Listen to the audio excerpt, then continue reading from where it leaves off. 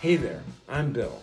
On Groundhog's Day 2022, I received a diagnosis of ALS, and I won't lie, I felt like shit.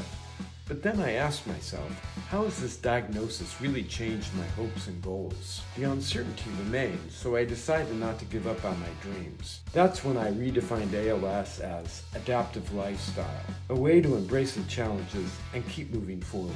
I set myself on a mission to complete the World Marathon Majors 6 Star, a challenge that drove me forward.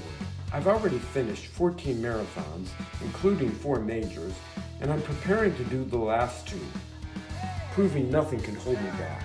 In face of this crappy prognosis, I've adapted and thrived as a para-athlete, never letting anything stop me from pushing forward. It's been incredible to see the impact of this journey on others. I've become an inspiration, showing the power of perseverance. Now I want to make an even bigger impact, using my achievements to fight ALS. Join me in the fight against ALS. Together we can make a difference.